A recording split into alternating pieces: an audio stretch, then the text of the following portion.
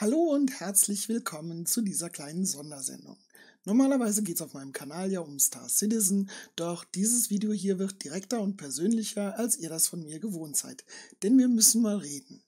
Heute ist der 31. März und wer nicht gerade Geburtstag hat, Happy Birthday an dieser Stelle oder was anderes Wichtiges vorhat, für den ist das wohl ein Tag wie jeder andere auch. Für mich ist das ein Tag, an dem ich gerne auf das zurückblicke, was ich im Leben hinter mich gebracht habe. Denn der 31. März, das ist der Transgender Day of Visibility. Also der Tag im Jahr, an dem sich viele Transmenschen öffentlich zeigen, damit wir gesehen und gehört werden. Für mich ist das die passende Gelegenheit, um dieses Video hier zu veröffentlichen. Jetzt muss ich allerdings erstmal kurz ausholen, damit alle auf dem gleichen Stand sind. Also bleibt dran. Vor einiger Zeit fiel abends mal beim Zocken der Spruch, Transgender sind ja wie Veganer. Die müssen das auch jedem erzählen. Und auch wenn ich erst schmunzeln musste, weil derjenige nichts von meinem Transsein wusste, so habe ich später über den Spruch einfach mal nachgedacht und ja, habe damit gemerkt, dass da einfach was nicht stimmt. Ich weiß genau, das wurde nicht aus böser Absicht gesagt, aber es ist wirklich das perfekte Beispiel. Warum sagen Transmenschen so häufig, dass sie trans sind? Das ist die Frage, die man sich eigentlich mal stellen sollte. Das liegt wohl daran, dass von uns häufig irgendwelche Erklärungen gefordert werden, auf die keiner ein Anrecht hat. Und bevor dann schon wieder jemand fragt, sagen manche das eben gleich heraus. Was mich angeht, ich sage das für gewöhnlich nichts. Dabei gehe ich davon aus, dass die Menschen mich so akzeptieren, wie ich bin, denn nichts anderes sollte zählen. Ich bin Anne oder online eben eineres. Punkt. Räumen wir mal mit ein paar Vorurteilen auf. Trans zu sein, das ist keine Entscheidung, die man aus seiner Laune heraus trifft. Keine Ideologie, die euch oder eure Kinder zu Transgendern machen soll. Und es ist auch nichts, was man sich aussuchen kann. Es ist doch keine Phase und äh, keine Sprüche wie mach dir das Make-up weg, schneid deine Haare ab oder du brauchst ja nur eine Freundin, werden daran je etwas ändern. Es ist vielmehr ein Gefühl, das tief in einem verwurzelt ist, das man schon früh in seinem Leben spürt, erst mit dem Heranwachsen versteht und irgendwann auf diesem Weg weiß man, dass die Geschlechterrolle, die man von Geburt an zugewiesen bekommen hat, falsch ist. Ob und wann man sich dann outet, das ist eine Frage des Leidensdrucks, doch jedes Outing hat seine Konsequenzen. Oft genug haben Familie und Freunde Schwierigkeiten mit einem Outing. Es kann zu Problemen mit Schule, Arbeitgeber und dem gesamten Umfeld führen. Dann wären dann teilweise noch demütigende Prozeduren, Untersuchungen, Gutachter, die man über sich ergehen lassen muss und noch einiges mehr. Und das habe ich jetzt echt noch freundlich ausgedrückt. Klar sollte aber eigentlich sein, aus Spaß macht das keiner freiwillig.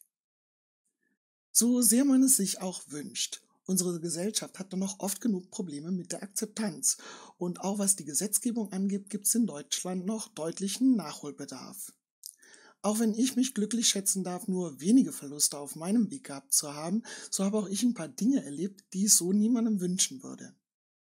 Sicher ist allerdings, nichts ist nach einem Outing so, wie es vorher war. Und das trifft ein bisschen natürlich auch auf dieses Video hier zu.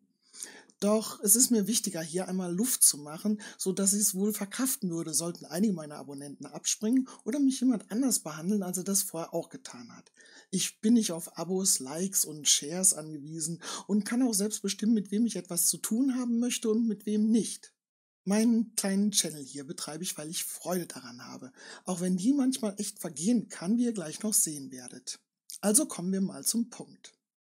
Mit mir kann man viel Spaß haben. Sicher auch, weil ich mich nicht allzu ernst nehme, doch es gibt eine klare Grenze, an der auch mein Verständnis ein Ende findet. Die ist definitiv überschritten, sobald man beleidigend wird. Auch wenn der überwiegende Teil meiner Zuschauer wirklich super lieb ist, Dankeschön dafür, so gibt es auch eine Schattenseite, weshalb ich hier mal eine klare Linie ziehe. Ich zeige euch hier mal ein paar Nachrichten, die ihr oft nicht zu sehen bekommt. Das hat irgendwann mal mit harmlos wirkenden Kommentaren angefangen und hat sich dann weiter aufgeschaukelt.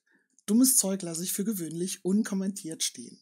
Einiges melde ich aber auch und anderes blende ich aus, wenn es mir zu blöd wird. Manche Dinge möchte ich eben nicht unter meinen Videos haben und auch sonst nirgendwo lesen müssen. Nicht nur bei YouTube, sondern auch auf anderen Plattformen scheint sich manch einer anonym und stark vorzukommen und oft genug wird dann völlig enthemmt geschrieben. Seit etwa einem Jahr häuft es sich dann und wird auch immer aggressiver. Vermutlich hat das auch was mit Corona, Lockdowns und dem Homeoffice zu tun, aber das ist keine Entschuldigung. Natürlich melde ich solche Nachrichten den Plattformbetreibern und die User werden blockiert, denn sowas geht absolut gar nicht. Wie ein Outing hat eben auch Hate Speech seine Konsequenzen.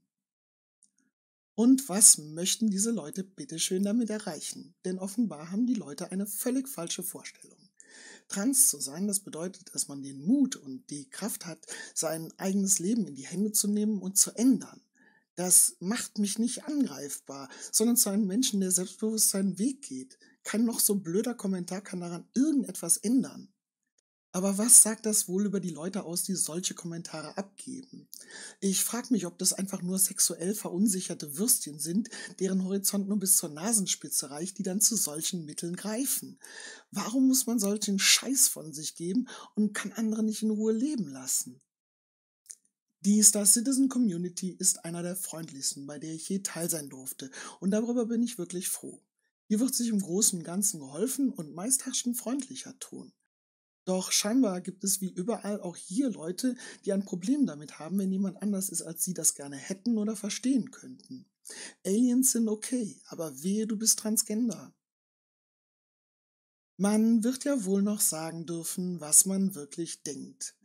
Das gilt eben nur so lange, wie es niemand beleidigen oder verletzen soll.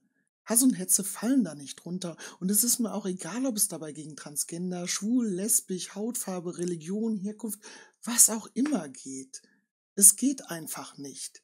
Wir sind alle nur Menschen und das sollte auch mal in den Köpfen ankommen. Es gibt viel mehr, das uns verbindet, als das, was uns unterscheidet. Für Transgender im Speziellen bedeutet das, wir wollen keine Sonderbehandlung. Behandle uns aber einfach mit dem Respekt, wie jede Frau oder Mann im umgekehrten Fall auch. Wobei ich hier non-binäre Menschen natürlich auch nicht ausschließen möchte. Im Zweifelsfall verhaltet euch doch einfach so, wie ihr auch behandelt werden möchtet. Und ich glaube kaum, dass das beleidigend sein soll. Ich werde jetzt nicht behaupten, dass ich hier für alle Transmenschen spreche, denn auch dort gibt es eine Vielfalt an Charakteren und Meinungen. Aber glaubt mir, niemand möchte beleidigt werden, da sind wir uns sicher einig. Und nicht jeder muss diesen Teil seines Lebens mit anderen teilen, weil das vollkommen okay ist, wenn er es nicht sagt. Dass ich mal ein Video zu dem Thema mache, hätte ich auch nicht gedacht. Aber wenn keiner was sagt, dann kann sich auch wenig ändern. Was ich mir von euch wünschen würde, ist, dass ihr dazu beitragt, dass Hate Speech keinen Platz in unserer Mitte, unserer Community hat. Das geht also raus an dich und irgendwie an jeden setzt ein Zeichen für Vielfalt und Toleranz und zeigt solchen Menschen ihre Grenzen auf. Ob das Video hier dazu beiträgt, weiß ich nicht, aber ich würde mich natürlich freuen. Aber Hass ist keine Meinung.